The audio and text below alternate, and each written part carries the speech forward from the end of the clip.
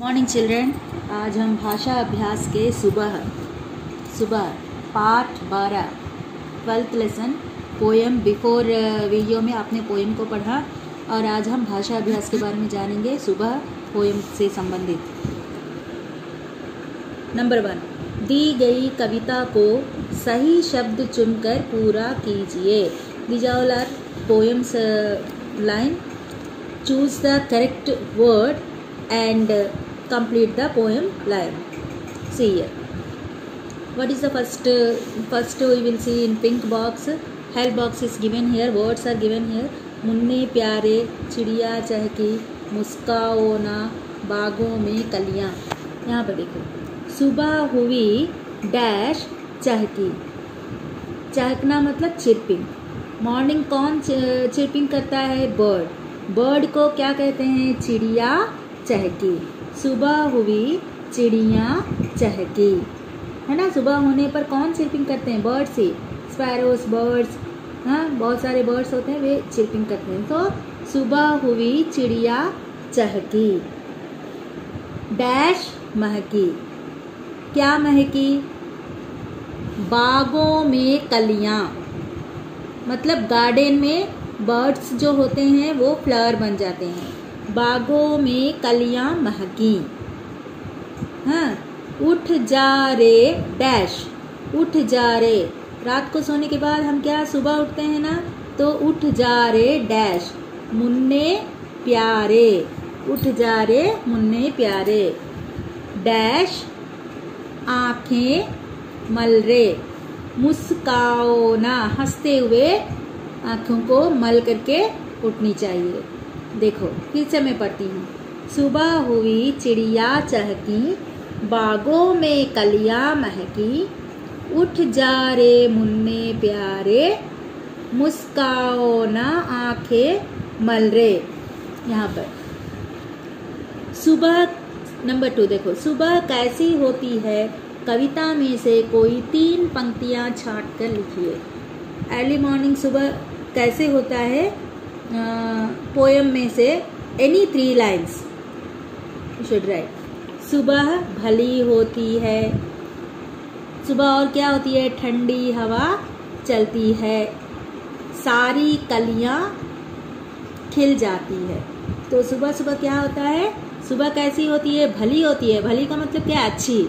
है कि नहीं? अर्ली मॉर्निंग अच्छा होता है ना? Five o'clock five thirty देखो तो बहुत अच्छा होता है।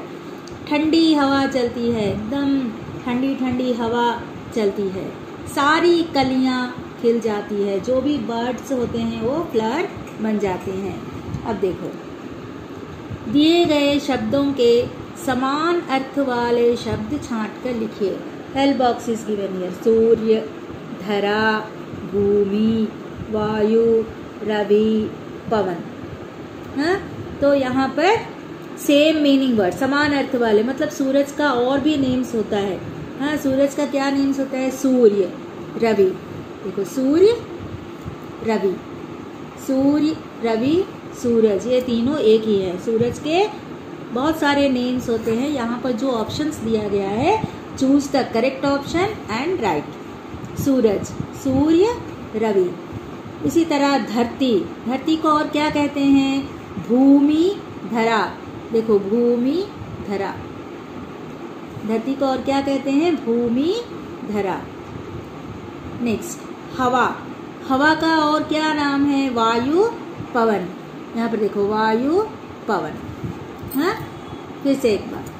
सूरज को क्या कहते हैं? सूर्य, रवि। धरती, भूमि, धरा। हवा, वायु, पवन। नेक्स्ट विलोम शब्द छांट कर लिखिए अपोजिट्स विलोम शब्द का मतलब क्या है? अपोजिट्स अपोजिट छांट कर लिखना होगा। छांट कर मतलब choose the correct opposite word and write here देखो, सबसे पहला वाला क्या है? पुराना, दुख, प्रकाश, आलस, गुण. पुराना मतलब ओल्ड दुख का मतलब क्या है? सैड प्रकाश का मतलब क्या है? लाइट आलस लेजीनेस गुण. अच्छा मतलब क्वालिटी वगैरह. तो अंधकार। अंधकार मतलब डार्कनेस तो डार्कनेस का ऑपोजिट वर्ड क्या है? लाइट देखो यहाँ पर, प्रकाश। ठीक है ना मेहनत। हार्डवर्क हार्डवर्क का ऑपोजिट क्या है? आलस। लेजीनेस आलस। सुख। हैप्पी सैड दुख। दुख। नया। न्यू पुराना। ओल्ड पुराना। दुर्गुण बैड क्वालिटी गुण अच्छा क्वालिटी देखो, फिर से, अंधकार, प्रकाश, मेहनत, आलस, सुख, दुख, नया, पुराना. दुर्गुण, गुण. यहाँ पर देखो, कविता के आधार पर नीचे दिए गए शब्दों के लिए सही शब्द छांट कर लिखो। कविता के आधार पर, आधार मतलब according to the poem choose the correct word and write here dash कहानी, नई नई कहानी. डैश स्वर, मीठे मीठे स्वर. ठंडी हवा डैश हवा, ठंडी हवा. डैश कलियाँ, सारी कलियाँ. देखो, मीठे नई ठंडी सारी choose the correct word and write in the blank फिर से एक बार. नई कहानी कैसी कहानी? नई कहानी हर एक सुबह हम नई कहानी को रचते हैं. डैश स्वर मीठे स्वर सुबह सुबह कौन से स्वर बहते हैं पक्षियों के मीठे स्वर ठंडी हवा. सुबह सुबह कैसी हवा चलती है? ठंडी हवा.